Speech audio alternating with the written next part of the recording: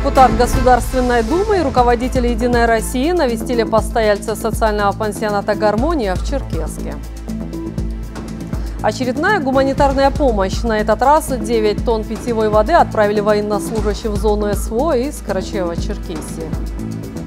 Как работает банковская техника, можно ли с места на место на руках перенести 1 миллиард рублей, об этом и не только школьникам рассказали сотрудники Банка России в День открытых дверей. Любовь к растениям и трудолюбие помогли Каншау Дабагову всего на трех сотках вырастить настоящий сад чудес с различными сортами фруктов. Здравствуйте на телеканале «Россия-24» Вести Карачаева-Черкесия. Сегодня Международный день пожилого человека. К старшему поколению со словами поздравления обращается глава Карачаева-Черкесии. Жизненный опыт наших старших заслуживает безграничного уважения. Наши дорогие родители, бабушки и дедушки прошли непростой путь. За их плечами доблестные ратные победы и годы самоотверженного труда. Именно нашему старшему поколению выпала важная миссия создать основу для дальнейшего развития страны, для той великой России, в которой мы сейчас живем, трудимся, воспитываем детей. В этот замечательный день хочется выразить искренние слова благодарности нашим старшим за труд, заботу о будущем страны, любовь к родной земле и бережное отношение к традициям и обычаям, которые мы, по их примеру, чтим и передаем своим детям. Желаю всем представителям старшего поколения крепкого здоровья, долголетия, бодрости духа и всего самого доброго. Спасибо, дорогие наши, за все, что вы для нас сделали и продолжаете делать, говорится в поздравлении. Это день напоминания о том, что старшее поколение нуждается в поддержке, заботе и внимании. Депутат Государственной Думы Султан Узденов навестил постояльцев социального пансионата «Гармония» в Черкеске для пожилых и инвалидов. Депутат ознакомился с условиями проживания, пообщался с жильцами. Султан Узденов и руководитель регионального отделения партии «Единая Россия» Руслан Джамбаев поздравили постояльцев с Днем пожилых людей и выразили свое почтение старшим. Пожелали крепкого здоровья, благополучия, долголетия, бодрости духа и вручили подарки. В свою очередь жильцы пансионата выразили гостям свою признательность, поблагодарили за всестороннюю помощь, внимание и поддержку. Самое главное, чтобы э, жильцы пансионата чувствовали заботу, внимание. Э, я думаю, что э, такого рода визиты, посещения должны быть э, на постоянной основе не только со стороны э, депутата Государственной Думы, но и депутатского корпуса, вообще неравнодушно жители нашей республики. Это внимание очень важно. Почему? Потому что каждый раз, когда мы э, приходим сюда, мы понимаем, что э, та забота, то внимание, которое уделяется, оно в любом случае имеет свой положительный эффект. Э, они видят, что о них заботятся, о них э, их э, чаяния, их э, желания, их пожелания, они э, их слышат, и э, в этом плане, конечно, эту работу мы планируем продолжать. Э, большое спасибо хочется сказать руководителю пансионата Ольге Ивановне Прыгуновой, которая очень внимательно к этим вопросам относится. Всегда мы находим и понимание, мы всегда на связи. В любом формате она и доносит до нас ту информацию, которую необходимо отработать. И я думаю, что вот та совместная работа, которую мы ведем в этом направлении, да, и тот, э, ту работу, которую ведет наш депутат, тоже она имеет свой положительный эффект именно для жильцов данного пансионата.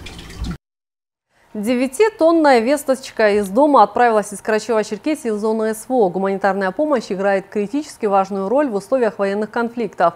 На просьбу бойцов, которые в данный момент стоят на передовой в Херсонской области, отправить им бутилированную воду сразу же откликнулись сенатор Российской Федерации, заместитель председателя Комитета Совета Федерации по обороне и безопасности Виктор Бондарев и Крым Казаноков. Гуманитарный груз собрали незамедлительно и 9 тонн питьевой воды отправили отправили военнослужащим. Напомню, что Республиканский штаб по оказанию поддержки участникам специальной военной операции и членам их семей по поручению главы Карачева-Черкесии на регулярной основе формирует грузы для отправки нашим солдатам. Данный груз сформирован при поддержке сенаторов Крыма Казанокова и Виктора Бондарева. Э, к ним обратились э, новороссийские десантники, которые сегодня находятся на Херсонском направлении. Они э, находятся сегодня прямо на передовой, в зоне специальной военной операции, и э, они попросили питьевую воду. Данный э, груз, который сегодня сформирован, он поедет прямо к ребятам, которые сегодня остро нуждаются в питьевой воде. Эта работа ведется на постоянной основе. Мы неоднократно отправляли и средства гигиены, и питьевую воду, средства защиты, технические средства и многое другое. В наших выпусках мы не раз рассказывали о жителях Карачева-Черкесии, участниках специальной военной операции. Очередная история об уроженце Эркин Юрта с позывным «Сибиряк». Подробнее Артур Мхце. Сибиряк из Иркин-Юрта не первый год находится в зоне специальной военной операции. Свой позывной Артур Кельдигулов взял по одному из крупнейших регионов России, где жил длительное время. Говорит, даже мысли отказаться от участия в СВО не было. Когда-то его дед Исмаил защищал родину, как снайпер участвовал в битве за Смоленск. Теперь сам Артур пошел по стопам родственника. Знаю историю нашей страны и Знаю о том, что как наши деды воевали против фашизма. И сейчас в современном виде это все повторяется в лице ООН, ну, 50 стран, которые сейчас вооружают и отправляют военное имущество, снаряжение, технику для того, чтобы ослабить Россию э, за то, что у нас есть такой лидер, для которого как Россия, страна должна существовать со всеми народами, малочисленными народами, которые здесь находятся. Вот э, из семейной ценности, угу. которые у нас на первом месте, там этого нету. По словам Артура, родные до последнего дня не знали о том, что он отправляется на СВО добровольцем. Матери рассказал лишь за несколько часов до выезда в часть. Подал заявку, где-то там записывался штурмовиком, чтобы после боевого слаживания я должен был оказаться в первых рядах. Я должен был уехать в Ростовскую область, но все по-другому. Комплектовался полк новый и для обороны Крыма. И вот так вот я попал в этот полк э, города Буденновска, в котором по сей день несу службу по защите Родины. За время пребывания в зоне специальной военной операции, к сожалению, было немало потерь среди друзей Артура. Но, говорит штурмовик, ради общей победы порой приходится идти на жертвы. Однако они, уверен наш земляк, не будут напрасными, а с помощью мощного тыла это сделать куда проще. Победа будет в любом случае за нами. Мы повторим подвиг наших дедов. Артур Мухце, Светлана Кокова, Вести, Карачаево-Черкесия. Следственным отделом по Карачаевску возбуждено уголовное дело по факту покушения на убийство главного врача Карачаевской центральной районной больницы. 30 сентября в селе Костахи Тагурова Карачаевского района неустановленное следствием лицо – находясь возле дома потерпевшего, произвело в него несколько выстрелов из ружья. Полагая, что нанесенные ранения являются смертельными, фигурант скрылся с места происшествия, пострадавший доставлен в больницу, где его жизнь была спасена благодаря своевременно оказанной квалифицированной медицинской помощи. Председатель Следственного комитета России Александр Бастрыкин поручил доложить о расследовании обстоятельств покушения на убийство главного врача медицинского учреждения. Следователями Следственного управления незамедлительно организован выезд на место происшествия, произведен его осмотр, изъяты различные предметы со следами преступления. По ним назначены баллистические, молекулярно-генетические и физико-химические судебные экспертизы. Совместно с оперативными сотрудниками МВД Покучер проводится комплекс мероприятий, направленных на установление местонахождения и задержание лица, причастного к совершению данного преступления. Банк России провел День открытых дверей в 70 городах страны. Участие в акции приняли представители республиканского отделения. Подробности в сюжете Артура Мыхца.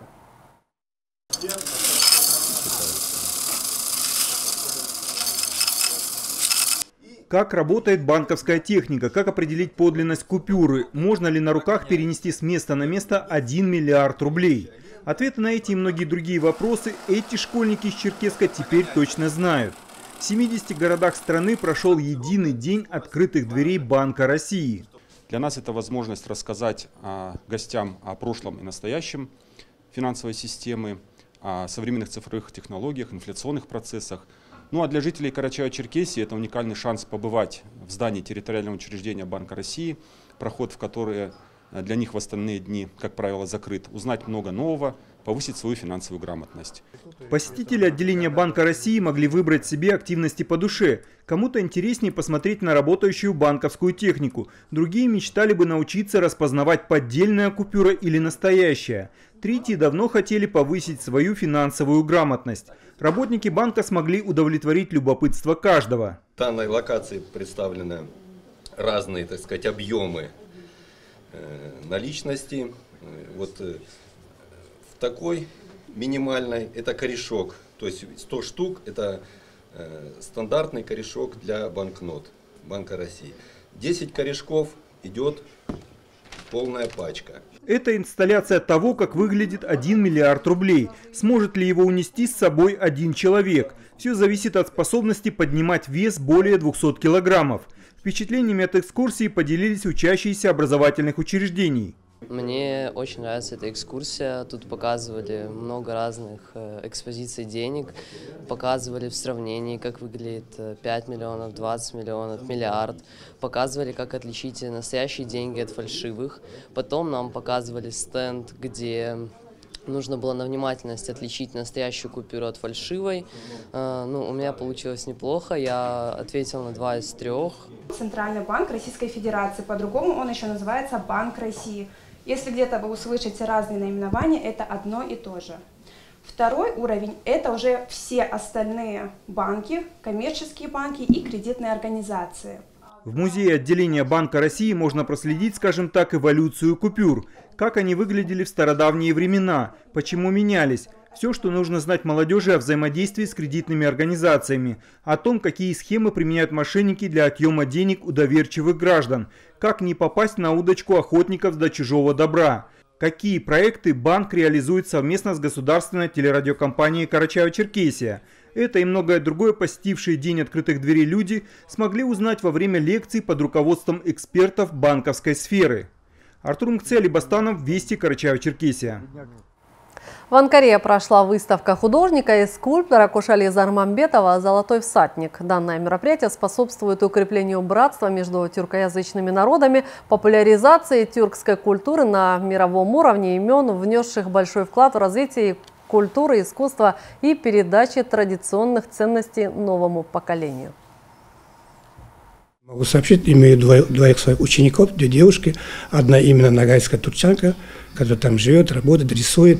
Я ему постоянно, каждый раз, когда езжу, подсказываю. Здесь э, по телефону общаемся, видео. Еще вот в этом году появилась еще одна, они с Конглов когда-то уехали, наши, да, Э, с семьей. И вот одна девочка, раз пишет именно войлочные как бы вещи, но, э, но не войлокой, а красками. Поэтому они тоже по две-три работы рядом поставили. Я, я сначала о них рассказал. Я говорю, всем обращаюсь, даже к мэру города. Я говорю, помогите, это наши как бы талантливые люди. Многие подходили, интересовались, а, а эти работы можно здесь в Турции установить.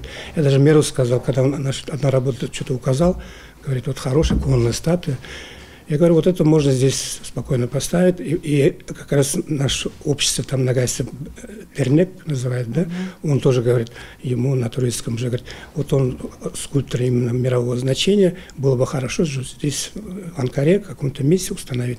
Он закивал головой, как бы, да, ну, может быть, потом это отзовется где-нибудь. Но мне интересно было, что люди не уходили Маленький уютный фруктовый сад на трех сотках выращивает житель Черкеска Каншала Дабагов. Как и всякий садовод-любитель, он стремится к богатому урожаю, чтобы затем ароматными грушами и наливными яблоками угостить всех соседей и родственников. В сказочном саду побывала наша съемочная группа. Житель Черкеска Каншао Дабагов сумел всего на трех сотках земли создать райский уголок, в котором он воплотил далекие детские сказки о волшебных садах. Ароматные яблоки и груши, подрумяненные летним солнцем, словно гирлянды виднеются сквозь кроны невысоких, но раскидистых деревьев. В этом году урожай отличный. Достаточно много. Прямо нарадоваться не могу. Соседи у меня замечательные, со всеми соседями делимся. Компоты, варенье делают. Ну, родственников много. Каншао вспоминает, как еще в детстве мама заметила, что у него рука легкая, что не посадит, то приживается и дает урожай. Теперь он сам в этом не сомневается. Что только не растет на его крохотном участке. Яблоки, груши, сливы, кизил, диковинные сорта ежевики, напоминающие гроздья винограда и различные ягоды. Здесь же и овощи, которыми все лето питается семья. Не профессионал, я как любитель втянулся и стараюсь как-то помочь тем, кто начинает только, да. И, и сам, сам тоже как бы по интернету там насмотрелся, экспериментируем, пробуем, и вроде бы как и получается. Участок с 6 э, соток, на половине дом стоит, и 3 сотки тут э, сад, все. Хватает и соленья, и варенье, компоты, там всякие эти, получается все. Безусловным украшением сада является груша «Толгарская красавица», которая благодаря высоким вкусовым качествам и урожайности имеет высокий рейтинг среди садоводов. Впрочем, у растений в саду Каншау-Дабагова нет шансов не быть урожайными. Можно с иронией сказать, что на его деревьях растут даже камни. На самом деле они являются декоративным грузом для веток. Надо признать, что Каншау не просто садовод-любитель, но и большой эстет. Каждый клочок его участка красив и продуман до мелочей. Отсюда и результат. Всем, кто сомневается, кто еще не, не может начаться, определиться, начинайте, никогда не поздно. У вас все получится. Каншао Дабагов любит экспериментировать в своем саду, прививает разные сорта плодовых деревьев, ищет защиту от вредителей, но самое главное, что свои полезные наблюдения он не держит в секрете, а с нетерпением готов поделиться с каждым садоводом. Марина Кушпова, Олег Малхожев, Вести, Карачаева-Черкесия.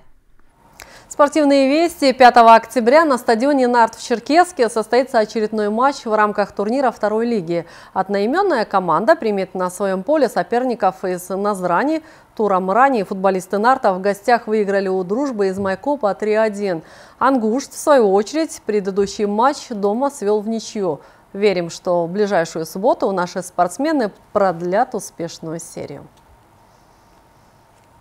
И последнее завтра, 2 октября, с 10 часов 43 минут до 10 часов 44 минут будет проведена проверка системы оповещения населения при передаче в эфир сигналов об угрозе и возникновении ЧС средствами цифрового телевещания. Сигнал будет передан путем кратковременного перерыва телевещания на отдельных телеканалах речевым сообщением на фоне логотипа МЧС России. Внимание, внимание, проверка системы оповещения – Граждан республики просят сохранять спокойствие.